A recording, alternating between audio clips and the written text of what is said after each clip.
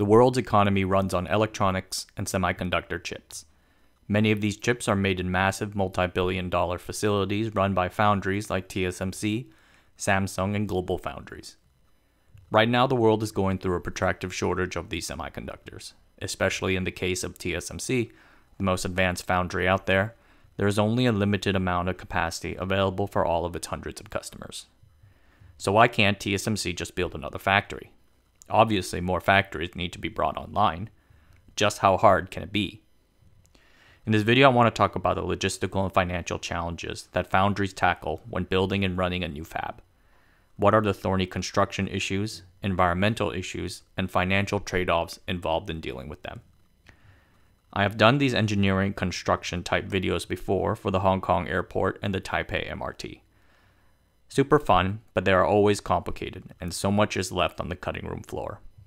Please forgive me for any errors let us begin with the basics. But first, I want to talk a little bit about the Patreon.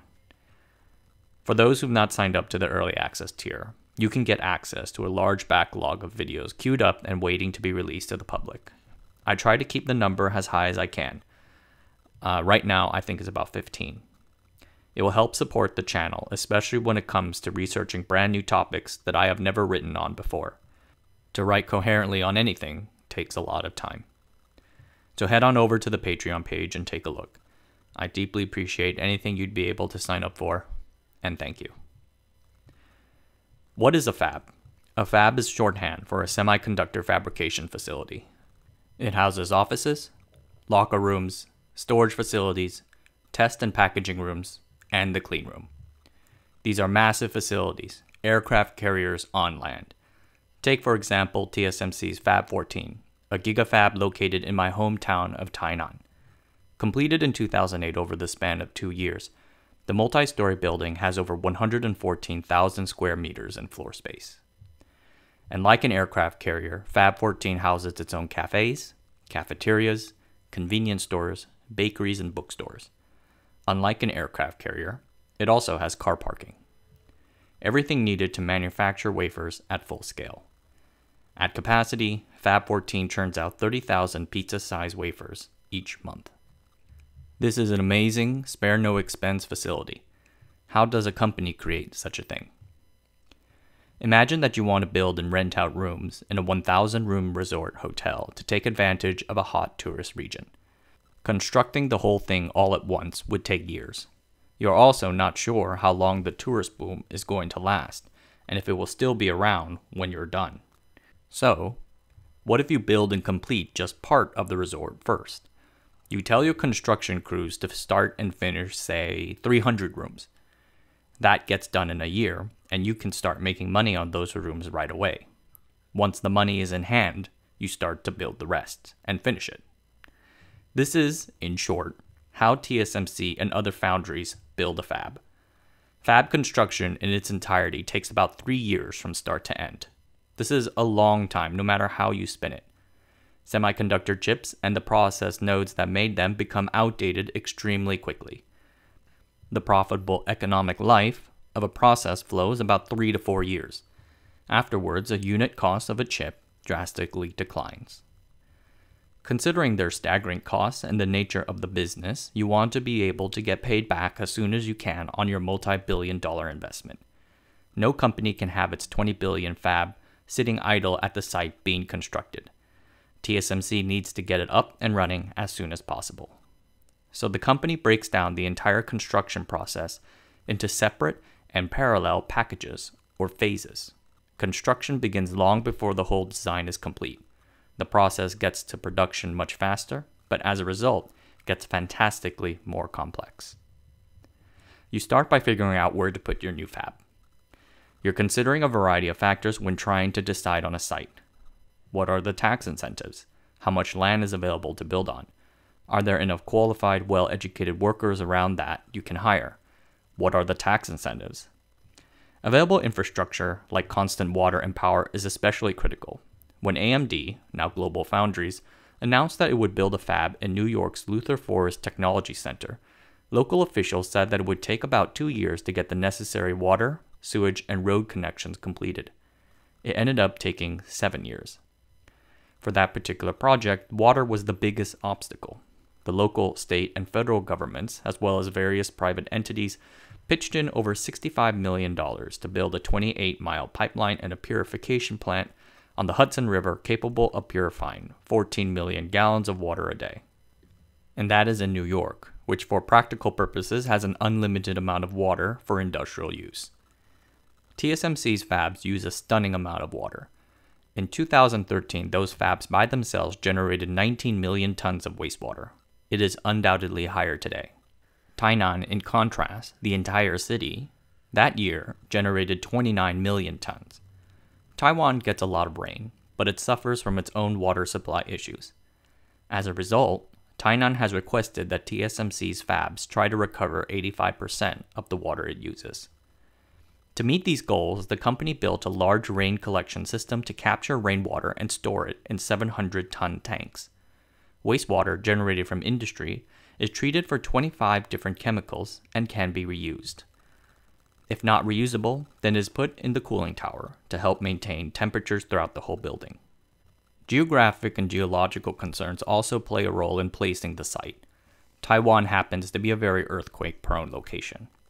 I have another video about the earthquake risk to TSMC's fabs, but to summarize, the company builds dampers into the facility to reduce tremors by up to 40%.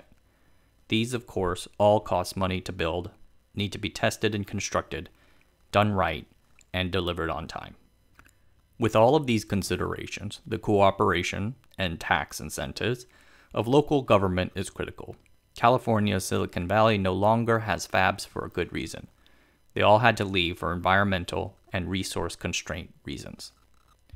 I did a video previously about TSMC's move to Taiwan South. There is also another regarding its decision to enter the China market. Both are worth checking out and are in the TSMC playlist. At the heart of a semiconductor fab is the clean room. The clean room is where the chip fabrication happens.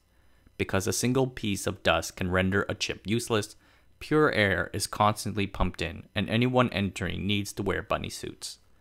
The size of these rooms, TSMC's Fab 14 clean room, is 31,000 square meters large, or roughly five and a half soccer fields.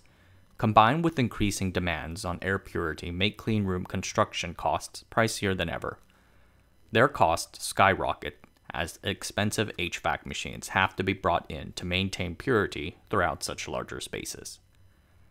Fab clean rooms have three types of configurations a ballroom style, a tunnel style, and a mini environment style.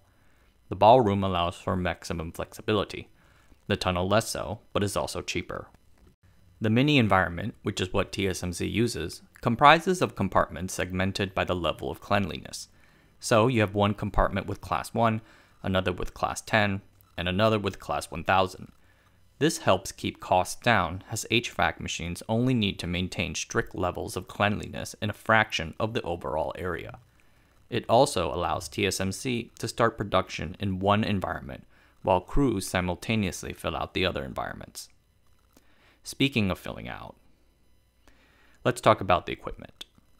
The equipment inside the fab typically makes up to 75% of the cost of the entire facility. So selecting and acquiring the right equipment is critical in making sure that the whole fab is delivered on time and within budget. Trade-offs need to be made everywhere throughout the process. Here's one small example. You are bringing in your expensive equipment and need to place it within your clean room. Where do you locate it? At the time of the clean room design, this might not be so clear so you decide to expand the range of your piping, HVAC, and utilities throughout all of your microenvironments. This offers you maximum future flexibility to deal with any unforeseen issues, but at the same time, bloats the budget. But if you don't do this right and mess up the placements, then there's the potential of an even more expensive work stoppage. So it's all about making the right trade off. A cutting edge ASML EUV machine can cost over $150 million by itself. The company only makes 50 a year. Making sure that it is properly brought over and installed in the clean room without defects must be a nerve wracking process.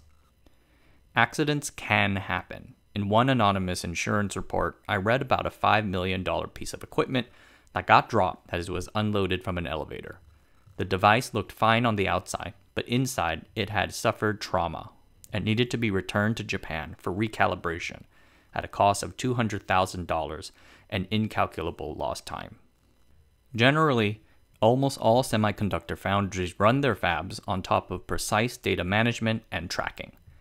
They want to know how well their processes are yielding and whether or not there can be room for improvement. You want to get to a good place as soon as possible so that the fab can start making money for the company. And there is always room for improvement. The equipment is brand new, the process steps are brand new, there are mistakes made. There is always a lot of fat to cut within the thousand or so steps that go into making a chip. So, teams on the ground should have both the technical competence and the leeway to make changes whenever they recognize the opportunity. The engineers work together with the operators and the technicians to recognize, diagnose, and solve such problems. Internal foundry teams also work very closely with the vendors that make the equipment they are using. The vendors know the equipment best, after all, they made it. They also work with the customer to make sure that the product they get is the one that they want. This means that for the most advanced nodes, you want to make sure that you are working with customers you really trust. Newer, more unfamiliar customers might start with more mature nodes first before progressing to the hot stuff. As TSMC embarks on building its fab in Arizona, its first advanced construction project situated on the other side of an ocean, it is hard to appreciate just how rough and unforgiving of a task the whole thing is. I suppose it is like what they say about ducks. You see a duck floating on the water, but you have no idea how frantically it is paddling beneath the surface. I can it's hard for me to even think about it really. To construct, equip, and optimize a fab so that it can start making on-time deliveries of a fantastically advanced product is hard. You're building a boat, launching it into the sea, and setting sail before you have finished installing half the engines. And now they got to do it 11,400 kilometers away from home. I'm looking forward to see how they turn out. All right, everyone, take care of yourselves out there. I hope you enjoyed this particular series on TSMC. I still have a few other topics I want to write about, but there's also a hu- huge amount of other things that I want to look at as well. If you're interested in the type of content that this YouTube channel focuses on, feel free to sign up to the newsletter. You'll get an email every so often. Or uh, if you want to support the work I do here, uh, check out the Patreon.